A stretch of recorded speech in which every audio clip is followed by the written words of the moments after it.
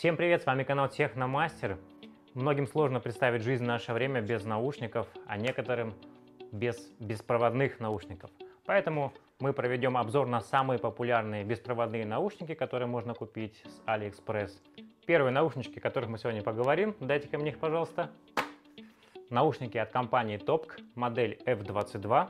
Сегодня мы с вами обсудим, какой звук у этих наушников, насколько хватает заряда батареи, каков радиус действия, можно использовать ли их как Bluetooth гарнитуру, немножко поговорим об управлении и в конце разберем их, чтобы посмотреть, что внутри. Подписывайтесь на канал, ставьте лайки, а мы начинаем.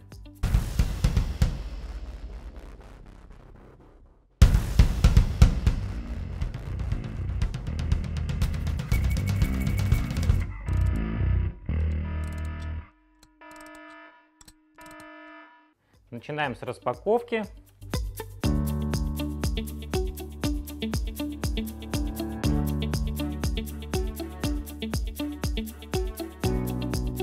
Два наушника. К сожалению, не написано, какой из них левый, какой правый, но это можно понять об этом чуть позже. Кейс и микро USB провод.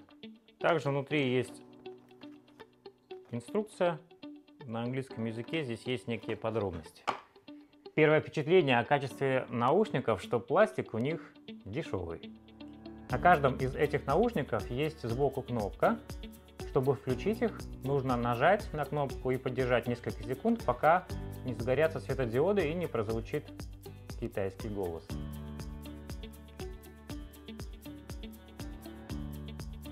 А нет, английский голос. Находится оно как F22 устройство. Подключаемся. Хочется сразу отметить, что брошюр запасных нет, поэтому есть только те, которые в комплекте. Если как-то они вам не подойдут или будут неудобны, к сожалению, сделать здесь больше ничего не получится. Звук более-менее хороший. Конечно, не стоит ожидать каких-то глубоких басов или такого песочка на верхах чистого звука. Нет, этого здесь нету но есть высокие частоты, есть средние частоты, неплохо слышно голос. Басы, если прям поплотнее вставить, тоже есть. Конечно, не мега крутые, но слышно. Если говорить про инструментальные звуки, в частности звук бочки, то он здесь слабенький, хоть и слышно, но, увы, не так хорошо, как хотелось бы. И еще такая деталь, а, периодически бывает слышна какая-то небольшая рябь, которая передается то ли с низкими частотами, то ли со средними частотами. К этому, в принципе, привыкаешь, оно сильно не мешает, но вот где-то что-то такое есть. Просто имейте в виду. Хочу вам сказать, что уже до начала этого обзора я слушал несколько треков в этих наушниках подряд, и нет такого, что там уши устают или неудобно, то есть слушать достаточно комфортно. Конечно, нет этого шикарного звука, как на некоторых серьезных наушниках, но тем не менее за 997 рублей очень даже неплохо, на мой взгляд.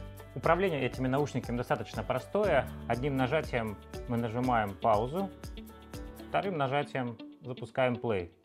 Нажимаем два раза подряд, громкость на правом наушнике прибавляется,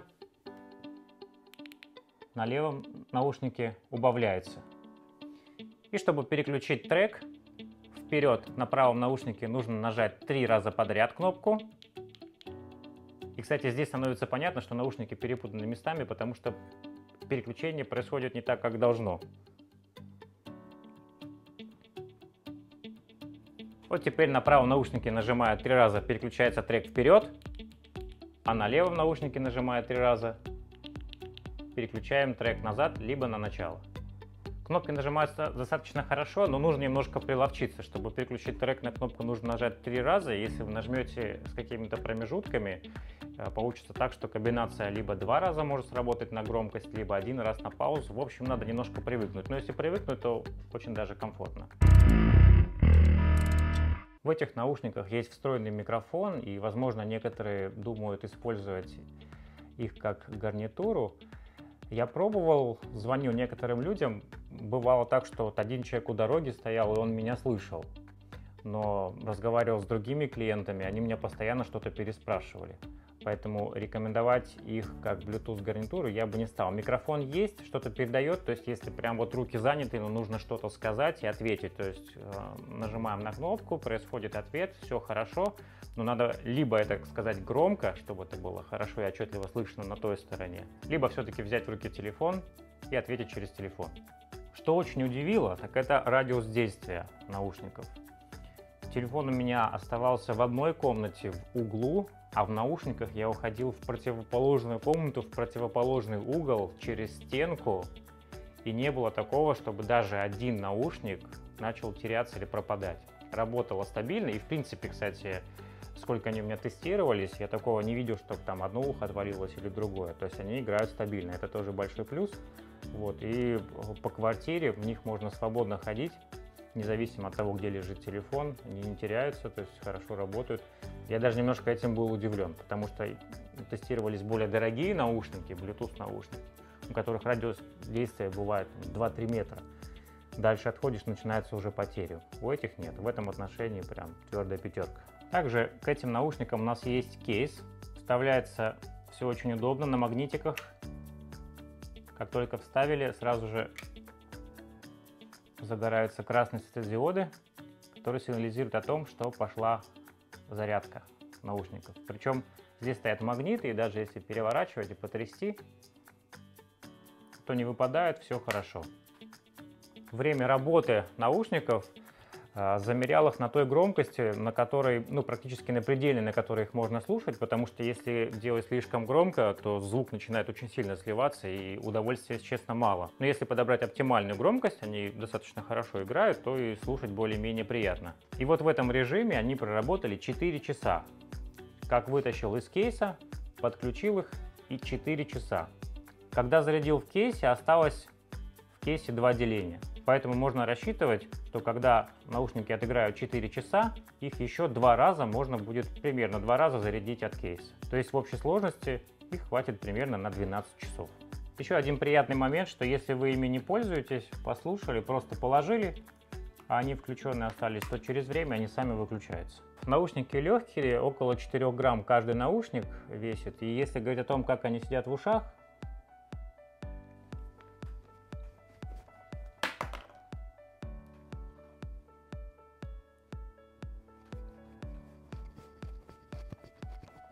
в целом очень хорошо, хотя один раз мы его потеряли.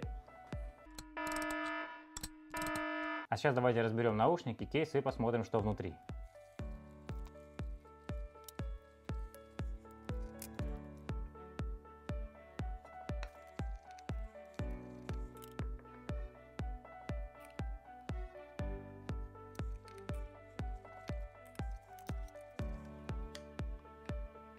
На аккумуляторе вообще никаких обозначений нет. Вот все, что мы видим по управлению этим кейсом. И разъем зарядочки. Разъем на плате достаточно слабенько держится, я бы сказал. Поэтому эксплуатируя этот кейс, вставляя зарядное устройство, лучше всего это делать в раскачку.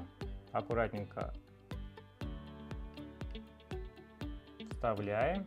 И также, когда вытаскиваем, покачивая, вытаскиваем. Это очень продлит срок службы этого разъема. А теперь сами наушники.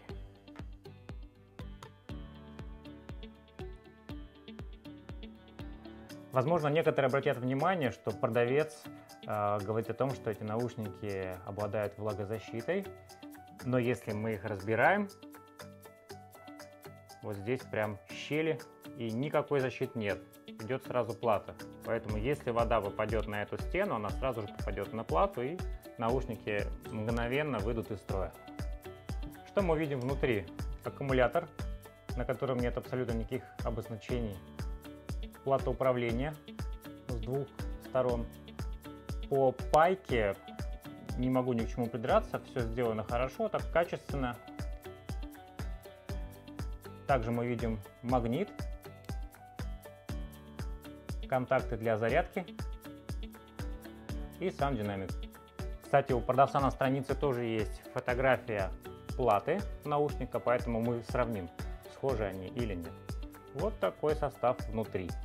На этом наш обзор подходит к завершению. Покупать или не покупать, как всегда, решать вам. Все, что смогли протестировать, мы вам показали. Но уже на подходе следующий видеоролик. Это следующие Bluetooth наушники, о которых мы скоро подробно расскажем. Подписывайтесь на канал, ставьте лайки. До скорых встреч!